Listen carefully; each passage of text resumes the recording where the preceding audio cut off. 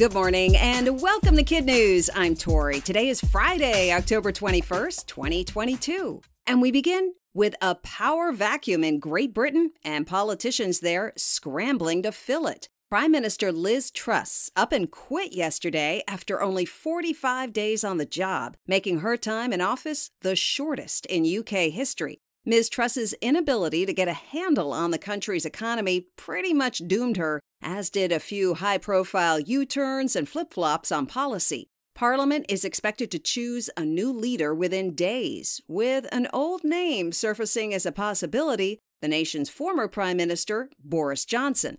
Even though Ms. Truss vowed she'd stay in power up until two days ago, the British tabloids thought otherwise. One newspaper, the Daily Star, was tracking whether she'd last as long as a head of lettuce. Apparently, the lettuce won. Massachusetts is getting an official state dinosaur. This week, Governor Charlie Baker signed legislation giving the honor to Podokesaurus holyokensis, or swift footed lizard of Holyoke. The dino, which weighed about 90 pounds and could run 9 to 12 miles an hour, was the top vote getter in a social media campaign started by State Representative Jack Lewis. Mr. Lewis also happened to be a Cub Scout leader who, at the start of the pandemic, was looking to inspire his Zoom weary troop of eight year olds. Around 35,000 votes were cast in the contest, with the mid Jurassic era Podokesaurus coming out on top. At the signing ceremony at Boston's Museum of Science during the state's STEM Week, the governor credited the wonder of prehistoric dinosaurs for kickstarting his own love of science as a kid.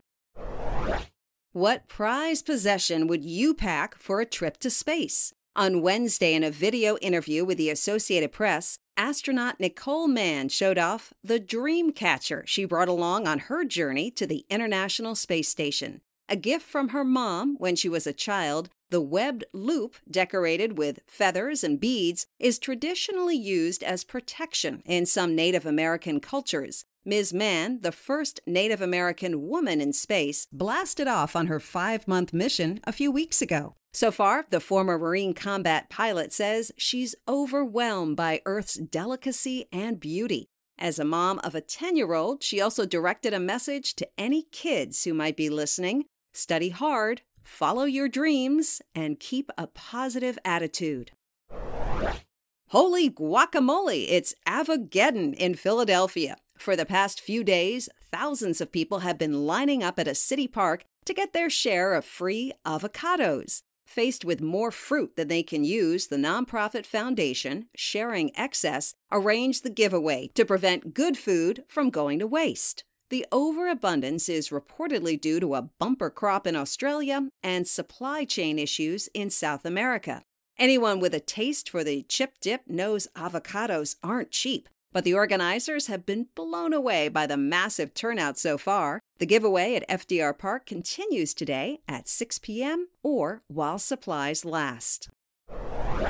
For Daniel Mancina, being blind is no barrier to Guinness fame. The Michigan man just set a world record for the longest 50 50 grind on a skateboard. The distance, 22 feet, 5 inches. Daniel took up the sport when he was 13, the same year that he was diagnosed with a disease that would completely take his sight just a few years later. Daniel works up to doing the tricks using a white cane to check distances and scan for obstacles. Next, he plans to break the record he just set build a fully adaptive skate park for the visually challenged, and get skateboarding added to the 2028 Paralympics.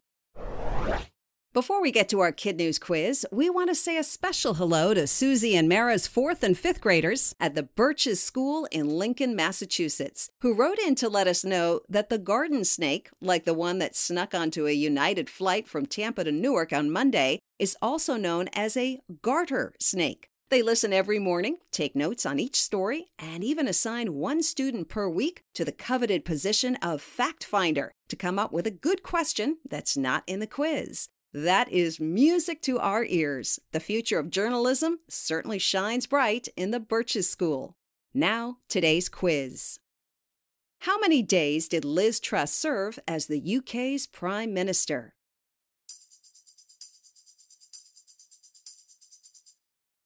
45, a new low for the UK. Astronaut Nicole Mann brought what special gift from her mom into space?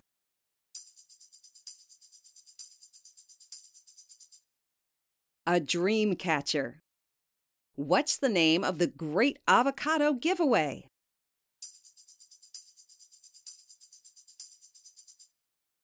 Avogeddon. How fast do dinosaur experts believe the Podokesaurus could run?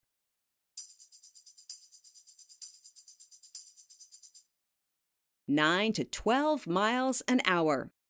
In our KidNuz Kicker, according to the Atlas Obscura, the Podokesaurus holyokensis is one of only two dinosaurs known to have roamed the Commonwealth of Massachusetts nearly 200 million years ago.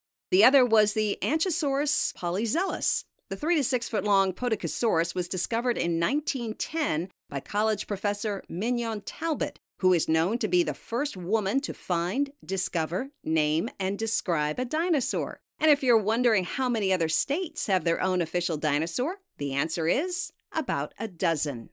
Before we go, we want to shout out our terrific KidNuz teachers, starting with Mrs. Saylor and her Rockets at Spring Grove Area Intermediate School in Spring Grove, Pennsylvania.